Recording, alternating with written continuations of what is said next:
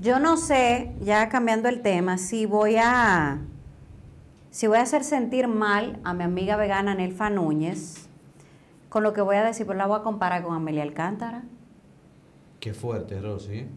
Yo no sé si ella se va a poner brava, pero... por, sonidista. Ajá, porque dime, Amelia un sonido, ahora Nelfa.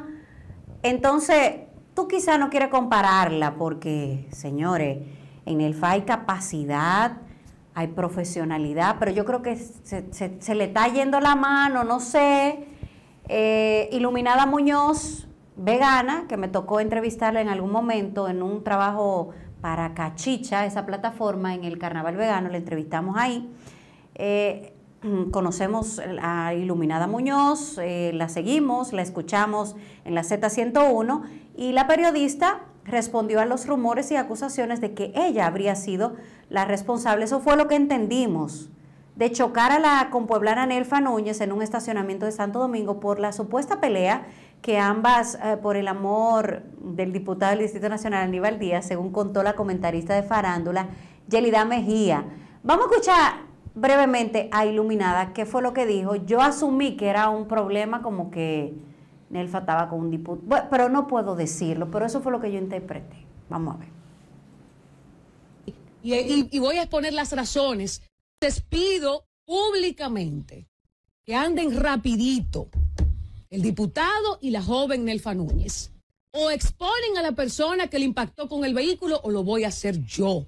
Y voy a solicitar el video y voy a exponer el lío que ustedes tienen ahí y, voy a exponer las razones por las que quieren meter a una persona que tiene dos años y medio en esta capital y lo único que ha hecho es trabajar.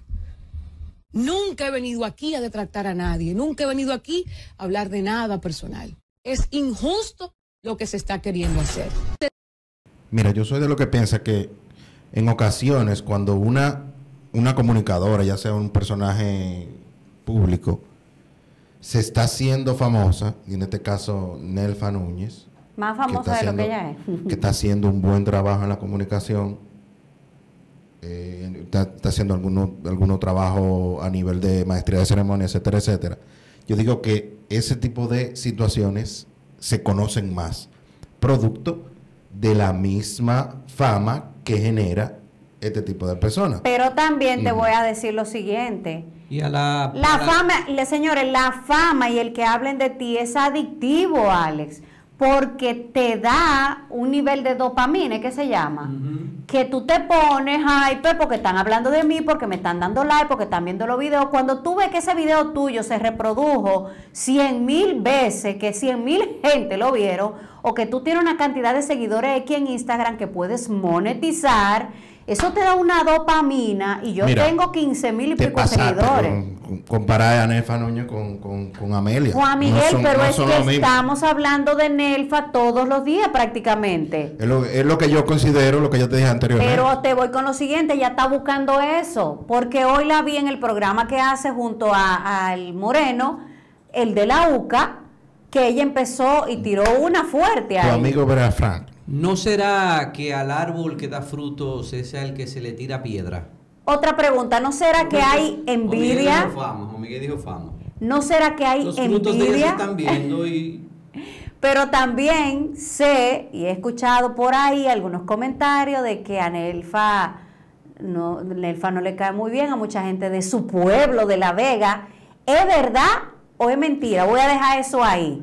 ¿Crees que se está poniendo aceitosa en Elfa Núñez? Si tú quieres, déjame en los comentarios si es verdad que Nelfa a muchos no le cae bien. Atención veganos, es verdad que Nelfa Núñez en el sector de la comunicación no es muy aceptada. Respóndanlo aquí ustedes. ¿A quién que no le cae bien Nelfa?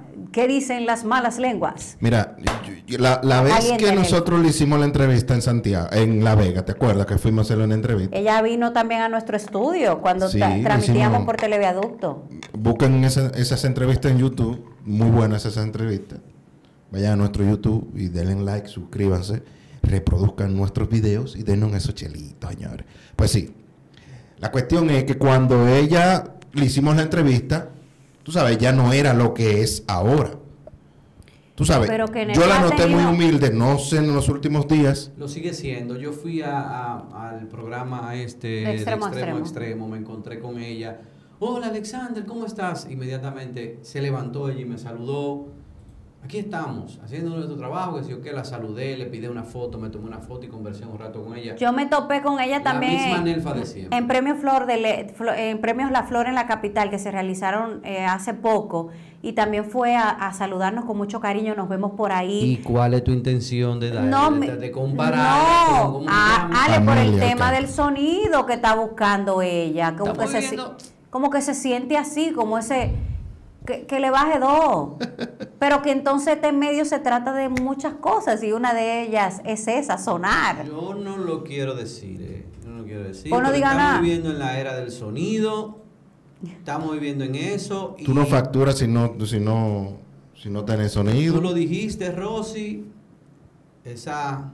Todos tenemos ese deseo de atención y sobre todo lo que estamos en los medios de comunicación, lo que, que queremos. Sí, el- el ser humano es así. Nosotros el somos ser así. humano es así, pero uno que le gusta la comunicación más todavía. Entonces, imagínate, eso es lo que estamos viviendo hoy en día, es una forma de hacer comunicación. Es un poco difícil cuando me meten al ambiente, a la- al término personal, pero Pero es parte de, viviendo. además, si usted no quiere que se hable de usted, y más uno que esté en los medios, no publique nada. Hoy, por ejemplo, voy voy donde Nelfa otra vez, ella publica un video, yo la sigo. Yo, yo Ah, creo que una de sus sí. primeras eh, visualizaciones soy yo. tú eres fan de Nel. No, yo la sigo, yo la veo, porque la conozco y ella hace un trabajo bueno, me Me encanta. dijo ella ya cuando la vi, me dijo, ustedes me tiran un ramplimazo de vez en cuando. Ella se ha dado cuenta. Por ejemplo, ella publicó videos que se está mudando. Y después publica uno que no le pregunten que porque ella se muda tanto, que si se está mudando. Pon Elfa, si tú no quieres que te pregunten, no publique nada. Ahora, ¿qué es lo que pasa Hasta con yo la, quiero saber qué es lo por qué que ella pasa muda con, tanto. con- con la periodista? La periodista es... ¿Qué es lo que pasa con la periodista? O sea, Con Iluminada. Habría, habría que ver qué es lo que está pasando ahí. Nos gustaría que fuera Nelfa la que hablara. A ver qué está pasando ahí. Claro. Ella hablará se, se habla de, de celos, se habla de muchas cosas. Hay que esperar qué está pasando Y si ella va a hablar o se va a quedar callada. Bueno. Señores, llegamos a la parte final de esta transmisión. Recuerde que yo he visto de blanco y más esta camisita light que tengo puesta hoy con jeans rascado. Es de blanco y más. En Plaza Deli, primer nivel, blanco y más.